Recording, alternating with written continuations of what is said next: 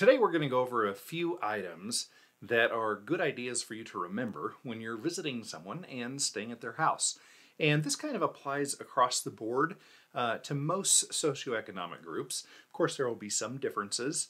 Uh, you know, if you have a, a, friend that you're staying with who has a, a daily housekeeper that comes in and does everything, things will be slightly different uh, than if it's more of a middle class or lower class uh, friend that you're visiting that doesn't have uh, domestic help that's constantly there. So this is just a general general idea. Uh, one thing is to be gracious, to recognize and appreciate what it is that your host does for you. Kind of a no-brainer, right? Yeah, not really. Uh, some people visit others and there's kind of this expectation that, well, yeah, you said I could stay with you when you come, so of course you're going to drive me around and spend time with me and provide me with food and provide me with shampoo and, and clean towels and make the bed before I get there and after I leave. And yeah, there, it's a lot of work to have a guest, and it's important to appreciate uh, those that invite you and have you as a guest. Number two would be a shoe policy. Know what your uh, host's shoe policy is, and if they do not generally wear shoes in their home, it's very good of you not to do so either. Uh, and whether you decide to bring, uh, you know, a thick pair of socks that you're going to wear, a pair of slippers, or barefoot, uh, kind of know what it is that your guest likes and be prepared. Kind of know what it is that your host likes and be prepared for that. Before you leave someone's house, uh, after you've stayed for a night or, or multiple nights, ask them what you should do with the bed sheets and the towels. And some people will say, oh, that's okay, we'll take care of it. And you should at least once then say, well, I, we really don't mind. Can we at least toss them in the washer and see what they say? And some people will want you to. Some people like to wash them right before the next guest arrives and will say, yeah, please just leave your bed as it is. It's, it's really okay. Then, then we're very gracious. And keep in mind that, that allowing somebody to give you something can be a great gift to them. We all like to do things for other people, and if other people don't let us do something for them, then we can't feel those good feelings. So keep in mind they might be getting a good feeling from letting you have a, a hassle free, pampered stay at their place. Another thing is that if you're visiting someone and you happen to know people in that city, that area, uh, don't invite them over to your host's place unless you have permission. And please don't pressure them into giving you permission.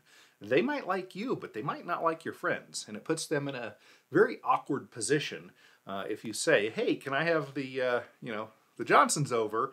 or "Can I have a party?" Uh, yeah, God, it's, it's hard to say to your guests no, but you really don't want them to. So I suggest don't even put them in that position. Uh, you can drop hints. You can say, "Hey, um, we're probably not going to be around tomorrow evening, and we're planning to go out with the Johnsons and, and find a good restaurant around the area and just go hang out with them." They might then say, "Well, why don't you have them over here and have a barbecue, and we'll stay out of your way." Well, who knows? Uh, but at least you shouldn't expect them uh, to welcome uh, people that you know that they don't know into their home. Definitely ask first. Okay, next thing is kind of the the financial piece. And most, you know, actually, I'm going to say it doesn't even really matter how much money you have or your host has.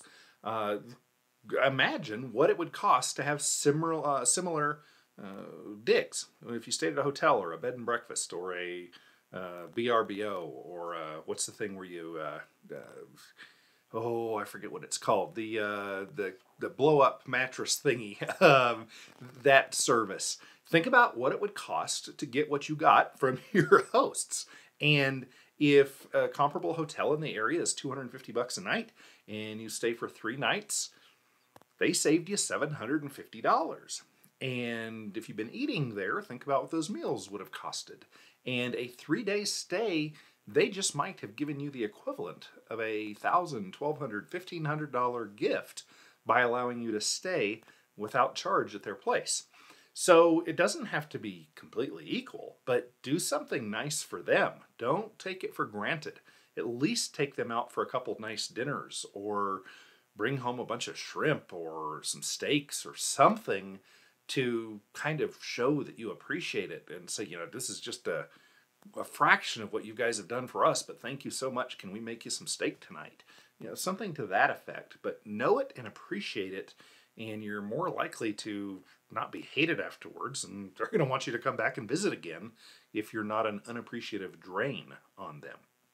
All right, and finally, and there are other things as well. These are just some of the things that kind of came to the top of my head. Uh, another thing is dishes. If you use dishes, take care of them like your hosts generally take care of them. And some people leave dirty dishes piled all over, and others don't. Um, some people who I greatly respect never let a dirty dish ever sit in a sink. As soon as that glass of water is finished, it is rinsed out with water and then placed in the dishwasher. And if that is how your host does things, do that. Definitely don't just go stack all your dishes on the countertop or in the sink and expect them to rinse them out and put them in the dishwasher. Just kind of don't make a big deal out of it and at least rinse everything off and leave it stacked so they can put it into their dishwasher as they choose, or if they hand wash, they can do that if they choose. Definitely offer to wash the dishes. Uh, same thing with things around the house good idea to just say, hey, if there's anything you need done while I'm here, I'm you know not that handy, but I'm happy to help. So just give me some chores. It just that nice offer lets them know that you appreciate them and and don't want to be a load, uh, a big heavy load uh, that's dropped in on them. I look forward to chatting with you again when I have more of this stuff that we might say is common sense, but eh, no, it's not. Please do subscribe. Look forward to chatting with you soon.